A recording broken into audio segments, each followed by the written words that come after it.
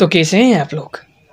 आज हामी होइन क्लास टुवेल्भको फिजिक्सबाट इलेक्ट्रोन भन्ने एउटा युनिट छ होइन च्याप्टर छ त्यो युनिटमा एउटा राम्रो डेरिभेसन रहेको छ। Motion of electron in a uniform magnetic field भन्ने एउटा राम्रो डेरिभेसन छ। त्यो डेरिभेसनको आज हामी होइन स्टडी गर्नेछौँ।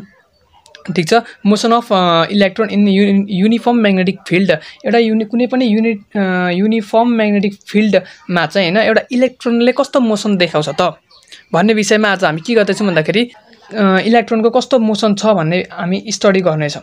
ठिक छ। यो चाहिँ लेक्चर नम्बर टू हो। लेक्चर नम्बर इलेक्ट्रोनको लेक्चर नम्बर टू हो। लेक्चर नम्बर वानमा हामीले motion of electron in uniform electric field गरेका थियौँ होइन? त्यो हेरेको छैन भने भिडियो छँदैछ होइन? डिस्क डिस्क्रिप्सनमा डिस्क्रिप्सनमा म राखिदिन्छु। जिब्रो के भएर आफै लटपटिरहेको छैन अहिले आज। ठिक छ केही छैन। ओके ल सुरु गरौँ lecture. Motion of electron in uniform magnetic field. एउटा कुनै युनिफर्म म्याग्नेटिक फिल्डमा इलेक्ट्रोनको के कस्तो मोसनहरू रहेको हुन्छ भन्ने विषयमा हेरौँ त। ठिक छ। होइन मैले फिगरबाट सुरु गरेँ। मैले के गरेँ भन्दाखेरि एउटा यहाँनिर गोलो टुइ फिगर बनाएँ। यो फिगर चाहिँ के हो भन्दाखेरि होइन यो फिगरलाई मैले डट डट डट क्रस दिएँ यो चाहिँ के हो भन्दाखेरि यो एउटा चाहिँ यति चाहिँ एउटा युनिफर्म म्याग्नेटिक फिल्ड भएको एउटा फिल्ड हो क्या। म्याग्नेटिक युनिफर्म म्याग्नेटिक फिल्ड भएको यो चाहिँ एउटा फिल्ड बनाएको। ठिक छ यो चाहिँ के अरे भन्दाखेरि युएनआइएफओआरएम युनिफर्म एमएजिएनई टिआइसी म्याग्नेटिक एफआइइएलडी फिल्ड हो। यो सर्कल चाहिँ। ठिक छ? अब यो सर्कलमा चाहिँ एउटा कुनै पनि इलेक्ट्रोनलाई अब हामी इन्टर गराउँदैछौँ। हो इलेक्ट्रोन सपोज इलेक्ट्रोन हाम्रो यहाँ छ यो ई नाम गरेको इलेक्ट्रोन होइन चार्ज अफ इलेक्ट्रोन। यो इलेक्ट्रोनलाई चाहिँ अब हामी यो म्याग्नेटिक फिल्डमा इन्टर गराउँदैछौँ ठिक छ? इन्टर गर्दाखेरि यसलाई हामीले के गर्यौँ भन्दाखेरि युनिफर्म भेलोसिटी भी दियौँ। एउटा भेलोसिटी भी दिएर चाहिँ यसलाई हामीले इन्टर गरायौँ यसरी स्वाट्टै इन्टर गरायौँ ठिक छ? र यो इन्टर गराउँदा चाहिँ होइन यहाँनिर के भन्दा भन्दाखेरि यहाँनिर हुन्छ यो फिल्डभित्र के हुन्छ भन्दाखेरि म्याग्नेटिक फिल्ड स्ट्रेन्थ हुन्छ नि होइन? म्याग्नेटिक फिल्ड यो फिल्डको म्याग्नेटिक फिल्ड स्ट्रेन्थसँग चाहिँ पर्पेन्डिकुलर म्याग्नेटिक फिल्ड स्ट्रेन्थलाई यसमा के भनिन्छ भन्दाखेरि बी भनेर डिनोट गरिन्छ। हो ठिक छ? यो बीसँग चाहिँ पर्पेन्डिकुलर भनेको यसरी नै सिधै होइन? यो म्याग्नेटिक फिल्ड स्ट्रेन्थसँग चाहिँ पर्पेन्डिकुलर बनाएर यसलाई हामीले के गर्छौँ भन्दाखेरि यसलाई हामीले अब पठाउँछौँ इन्टर गराउँछौँ। भी भ्यालोसिटी दिएर इलेक्ट्रोनलाई पठाइयो। केसँग पर्पेन्डिकुलर बनाएर भन्दाखेरि म्याग्नेटिक फिल्ड स्ट्रेन्थसित बी जसलाई बीले डिनोट गरिन्छ त्योसँग पर्पेन्डिकुलर बनाएर चाहिँ यसलाई हामीले यो युनिफर्म म्याग्नेटिक फिल्डभित्र एउटा फिल्ड बनाएको छ हामीले जसमा म्याग्ने म्याग्नेटिक फर्म युनिफर्म छ होइन? म्याग्नेटिक फिल्ड युनिफर्म छ। हो त्यो फिल्डमा चाहिँ हामीले के गरायौँ भन्दाखेरि इलेक्ट्रोनलाई ठिक छ इन्टर गरायौँ अब यो इन्टर गर्दाखेरि के हुन्छ भन्दाखेरि यो जुन इलेक्ट्रोन छ नि यो इलेक्ट्रोनले चाहिँ एउटा फोर्स हुन्छ जुन लोरेन्स फोर्स एक्सपिरियन्स गर्छ। जस्तो अघिल्लो भिडियोमा मैले भनेको थिएँ म्याग्नेट मतलब इलेक्ट्रिक फिल्डमा चाहिँ एउटा फोर्स एक्सपिरियन्स गरेको थियो नि F equals to E into capital E होइन ई भनेको charge of electron into E भनेको इलेक्ट्रिक फिल्ड इन्टेन्सिटी जुन यो यसको प्रडक्टको जुन फोर्स एक्सपिरियन्स गरेको थियो त्यस्तै। यहाँ पनि के भयो भन्दाखेरि यसले अब यहाँ लोरेन्स फोर्स भन्ने होइन फोर्स एक्सपिरियन्स गरौँ होइन लोरेन्स फोर्स भनेको के हुन्छ भन्दाखेरि एफ इक्वल्स टु बिइभीले दिन्छ क्या लोरेन्स फोर्स यो लोरेन्स फोर्स जसलाई केले दिन्छ भन्दाखेरि बिइभी बी भनेको के हो भन्दाखेरि हाम्रो म्याग्नेटिक फिल्ड स्ट्रेन्थ ई भनेको चार्ज अफ इलेक्ट्रोन भी भनेको भेलोसिटी ठिक छ? यो लोरेन्स फोर्स एक्सपिरियन्स गर्छ। हो ठिक छ। इलेक्ट्रोनले के गर्दा गर भन्दाखेरि लोरेन्स फोर्स एक्सपिरियन्स गर भनेको F equals to E V into B ठिक छ? यो चाहिँ केमा हुन्छ भन्दाखेरि यसलाई चाहिँ भ्याक्टर नोटेसनमा लेखिन्छ। यो चाहिँ केमा लेखिन्छ भन्दाखेरि भ्याक्टर लो नोटेसनमा यसरी लेखिन्छ। ठिक छ? एकछिनमा होइन? यसलाई भ्याक् भ्याक्टर नो नोटेसनले लेखियो। ठिक छ? जिब्रो लटपटिरहेको छ अझ के भइरहेछ? मलाई थाहा छैन होइन? ठिक छ केही पनि छैन। ओके गुड त्यस पछाडि अब यसको अब के भनेको छ भन्दाखेरि यो बीसित भनेको म्याग्नेटिक फिल्ड स्ट्रेन्थसित यो के छ भन्दाखेरि यो फोर्स चाहिँ मतलब पर्पेन्डिकुलर छ। यो फोर्सको डाइरेक्सन मैले फोर्सको डाइरेक्सनको कुरा गरेँ अहिले नै अहिले अघि इलेक्ट्रोनको भनेको थिएँ नि त होइन? इलेक्ट्रोनको यो बीसँग पर्पेन्डिकुलर गरेर पठाएको छ भनेको थिएँ। अब यहाँनिर के भन्दाखेरि यो फोर्स जुन यो फोर्स छ लोरेन्स फोर्स यो फोर्सको डाइरेक्सन चाहिँ यो फोर्सको डाइरेक्सन चाहिँ होइन बी र भी कन्टेन गरेको प्लेनसँग के हुन्छ? पर्पेन्डिकुलर हुन्छ भनेको छ भनेको यो भेलोसिटी र यो जुन यो छ यो के अरे म्याग्नेटिक स्ट्रेन्थ योसित चाहिँ के भएर के हुन्छ भन्दाखेरि फोर्सको डाइरेक्सन चाहिँ पर्पेन्डिकुलर हुन्छ अरे। ठिक छ? म त्यही लेख्दैछु है। होइन? The डिआइआरइसिटिआइओ and direction of एफओआरसी force is परपेन्डी सियुएलएआर perpendicular to PLANE plane containing CONTAINING containing be and भी होइन? यो बी एन्ड भी कन्टेन गरेको प्लेनसँग चाहिँ होइन यो डाइरेक्सन अफ फोर्स चाहिँ के हुन्छ अरे भन्दाखेरि पर्पेन्डिकुलर हुन्छ अरे। त्यसैले हामी के लेख्न सक्छौँ सो भनेर F equals to B E V sine theta लेख्न सक्छौँ। हो साइन ठिटा लेख्न सक्छौँ। किन भन्दाखेरि यो भ्याक्टरको क्रस प्रडक्ट हो। ठिक छ? क्रस प्रडक्टमा हामी के लेख्छौँ? फेरि साइन थिटा लेख्छौँ। ओके ठिक छ। भने अब एफ इक्वल्स टु होइन यो क्रस प्रडक्टको हामी म्याग्नेच्युड लेख्दैछौँ। ठिक छ? क्रस प्रडक्टको म्याग्नेच्युड के दिन्छ साइन थिटा दिन्छ बिइभी साइन थिटा ठिक छ? ओके त्यस पछाडि अब बिइभी अनि sine ninety degree ninety degree किन? यो पर्पेन्डिकुलरली छ यसको पर्पेन्डिकुलर छ यसको डाइरेक्सन अफ फोर्स के छ? Perpendicular to plane content B and B छ होइन? पर्पेन्डिकुलर छ भने चाहिँ नाइन्टी डिग्री हो भनेपछि बिबीको चाहिँ साइड नाइन्टी हुने भयो। यति पनि यो पनि बुझिहाल्यो होइन? Or or F equals to sine ninety भनेको हाम्रो वान हुन्छ। भनेपछि F equals to B E V perpendicular हुँदा यो फोर्स लोरेन्स फोर्सको म्याग्नेच्युड कति हुने रहेछ? बिइभी हुने रहेछ। जसलाई हामी इक्वेजन के भन्छौँ? इक्वेजन वान भन्छौँ मैले।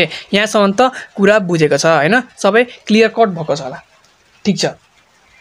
अब अब यहाँ के हुन्छ भन्दा अब यहाँ नै जुन यो फोर्स बिइभी जुन यो फोर्स छ नि होइन यो Lorentz force B B force होइन यो यो युनिफर्म म्याग्नेटिक फिल्डमा यो जुन यो बिबी फोर्स छ जुन इलेक्ट्रोनले एक्सपिरियन्स गर त्यो फोर्सको कारणले होइन त्यो फोर्सको कारणले के हुन्छ भन्दाखेरि यो मोसन अफ इलेक्ट्रोन जुन छ नि होइन यो इलेक्ट्रोन इलेक्ट्रोनको पाथ चाहिँ अब डिफ्लेक्ट हुन्छ भनेको के हुन्छ भन्दाखेरि फेरि डिफ्लेक्ट भएर तल तल तल तल आउँछ यसले चाहिँ के ल्याउँछ भन्दाखेरि यसरी डिफ्लेक्ट भएर म्याग्नेटिक फिल्डले चाहिँ इलेक्ट्रोनको इलेक्ट्रोनको पाथलाई डिफ्लेक्ट गरेर यसरी डाउनवर्ड ल्याउँछ इलेक्ट्रिक म्याग्नेटिक फिल्डमा डाउनवर्ड ल्याउ ल्यायो ठिक छ? इलेक्ट्रिक फिल्डमा होइन अघिल्लो भिडियो हेरेको छ भने इलेक्ट्रिक फिल्डमा के गरेको थियो भन्दाखेरि फोर्सले जुन यो फोर्सले एक्सिलेट गरेर होइन मोसन अफ इलेक्ट्रोनलाई एक्सिलेट गरेर के छ डिफ्लेक्ट अपवार्ड लगेको थियो। ओ पोजिटिभ प्लेटतिर अप डिफ्लेक्ट भएर अपवार्ड लगेको थियो। ठिक छ? यसले के गर्यो? डिफ्लेक्ट डाउनवर्ड गर्यो। यसरी यसरी डाउनवर्ड गर्यो यसरी। ठिक छ? यसरी। हो? यसरी डाउनवर्ड गरौँ ठिक छ।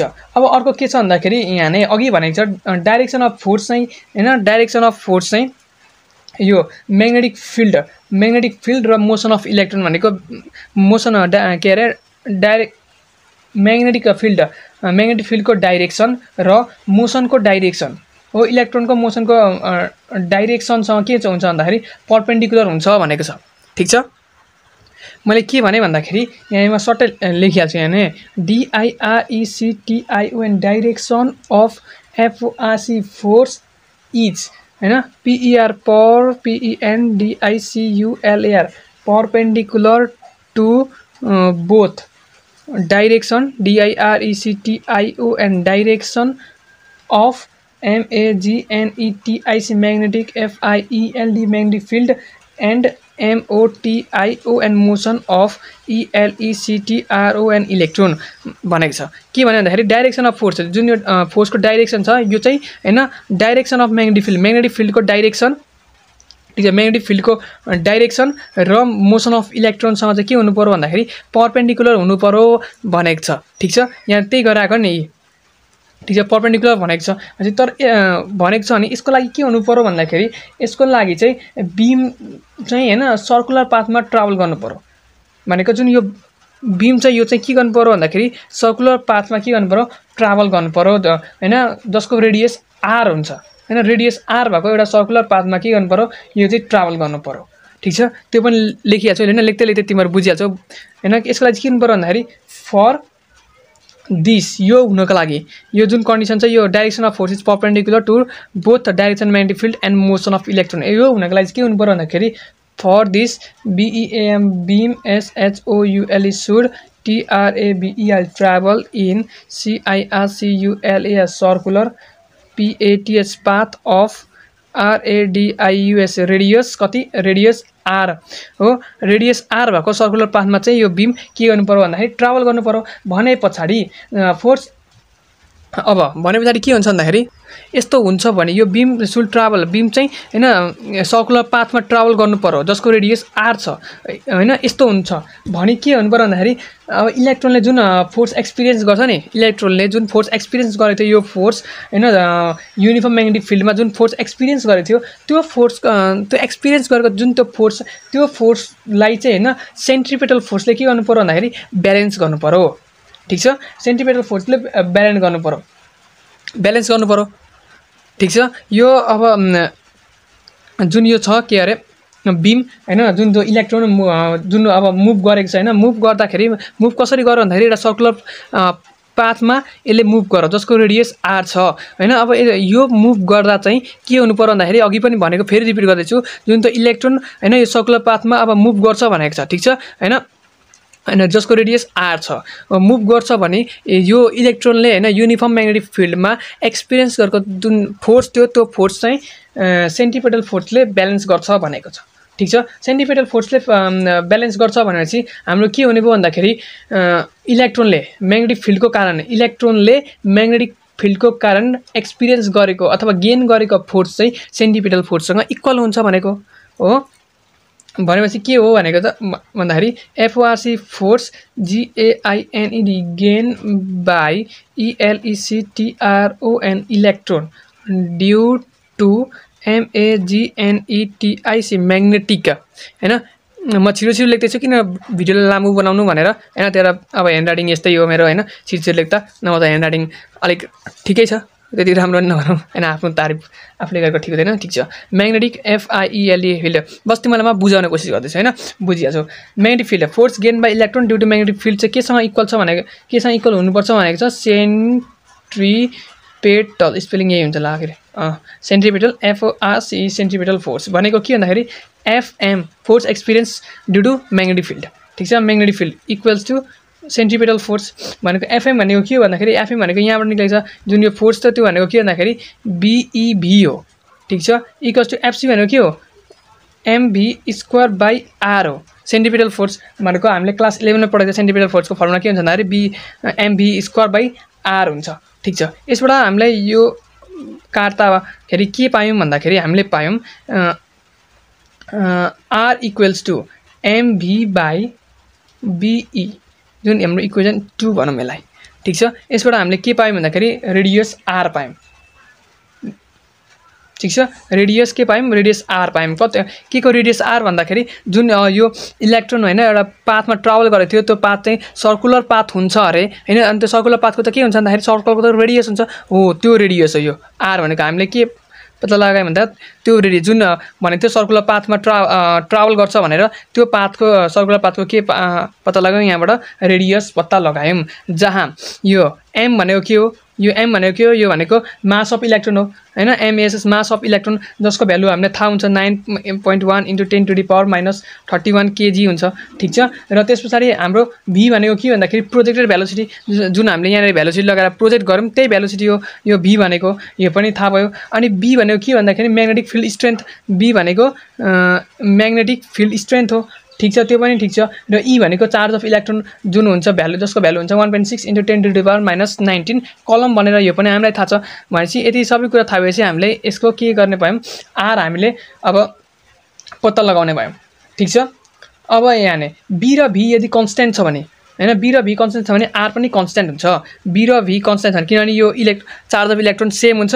हो? र मास अफ इलेक्ट्रोन जहिले सेम हुन्छ भनेपछि बी र भी यदि कन्सटेन्ट भयो भने होइन कन्डिसनको कुरा गर्दैछु अब यसमा लाग्ने कन्डिसन के कस्तो कस्तो कन्डिसन हुनसक्छ भन्दाखेरि अब बी र भी सेम भयो भने बी र भी यो भ्यालोसिटी र यो म्याग्नेटिक फिल्ड स्ट्रेन्थ सेम भयो भने आर हाम्रो जहिले कन्सटेन्ट आउँछ। हो ठिक छ? अब आर कन्सट्यान्ट हुन्छ भनिसके पछाडि आर कन्सट्यान्ट भनेपछि आर कन्सट्यान्ट हुन्छ भनेपछि यसबाट के प्रुफ हो भन्दाखेरि यसबाट हामीले थाहा पायो कि यसले के इन्डिकेट गर्यो। जुन यो कन्सट्यान्ट आर छ यसले के इन्डिकेट गर्यो भन्दाखेरि जुन पाथ अफ इलेक्ट्रोन थियो होइन युनिफर्म म्याग्नेटिक फिल्डमा त्यो चाहिँ सर्कुलर हुन्छ भनेर। किन आर रेडियस के? सर्कलको एउटा रेडियस जताबाट नि के हुन्छ भन्दाखेरि सेमै हुन्छ भनेपछि कन्सट्यान्ट हुन्छ भनेको बुझ्यो। भनेपछि ए यसले चाहिँ इलेक्ट्रोन पाथ अफ इलेक्ट्रोन चाहिँ जहिले पनि के हुन्छ भन्दाखेरि यसले के इन्डिकेट गर्यो भन्दाखेरि पाथ अफ इलेक्ट्रोन चाहिँ होइन सर्कुलर युनिफर्म म्याग्नेटिक फिल्डमा सर्कुलर हुन्छ भनेर इन्डिकेट गर्यो। यो पनि बुझिहाल्यो। ठिक छ? त्यो चाहिँ भयो कन्सटेन्ट भ हुने मतलब कन्डिसनमा होइन? यदि बी र भी कन्सटेन्ट हुने कन्डिसनमा यो अब सर्कुलर पाथ भन्ने थाहा भयो। यदि कन्सटेन्ट भएन अथवा कन्सटेन्ट होइन होइन? यो बी र भी चाहिँ कन्सटेन्ट भएन भने चाहिँ के बुझ्छ भन्दाखेरि पाथ चाहिँ अथवा स्पाइरल हुन्छ होइन? यस्तो स्पाइरल यस्तो कस्तो हुनसक्छ अथवा ह्यालिक्स हुनसक्छ। ठिक छ? ओके यहाँसम्म थाहा भयो। हो? र अब यहाँबाट अर्कै अझै हामी डिराइभ गर्न सक्छौँ। यहाँनिर अझ यहाँबाट अझै हामी डिराइभ गर्न सक्छौँ। के डिराइभ गर्न सक्छौँ भन्दाखेरि यसबाट अब होइन यहाँबाट हेरौँ न हामीले निकालेको कुरा के भन्दाखेरि सानो अब बुझ्नको लागि मैले वस्तु गरिदिएँ आर इक्वल्स टु हामीले के निकालेको थियो एमभी बाई बिई निकालेको थियो। ठिक छ? हो यहाँबाट जुन यो भ्यालोसिटी छ हो यो भ्यालोसिटी भनेको अब यसलाई के लेख्न सकिन्छ भन्दाखेरि R equals to MV a V भनेको यहाँनिर बिई लेखिराखौँ इन्टु आर ओमेगा हो कि होइन बाई बिई हो यो थाहा छ? ओमेगा भनेको के हो? एङ्गुलर भेलोसिटी ठिक छ? ओमेगा भनेको के हो? एङ्गुलर भेलोसिटी भने पछाडि भी भनेको हामीलाई रिलेसन थाहा थियो V equals to R omega भन्ने। यो रिलेसन हामीले इलेभेनमै पढेको कुरा हो भनेपछि यहाँबाट के भयो? आर आर क्यान्सिल हो। ओमेगा इक्वल्स टु के हुने भयो? ओमेगा इक्वल्स टु यहाँबाट यहाँ चाहिँ फेरि कसले बिई लेखेको यहीँ छँदैछ बिई ठिक छ। मैले लेखेको होइन त्यसमा केही छैन। ठिक छ। ओमेगा इक्वल्स टु अब के हुने भन्दाखेरि बिई बाई यहाँबाट एम मात्र हुने भयो। ठिक छ। अझै हामीले थाहा छ ओमेगाको रिलेसन के छ? ओमेगाको रिलेसन टु पाई एफ हुन्छ भनेर पनि हामीलाई थाहा छ। इलेभेन नै पढेको कुरा हो।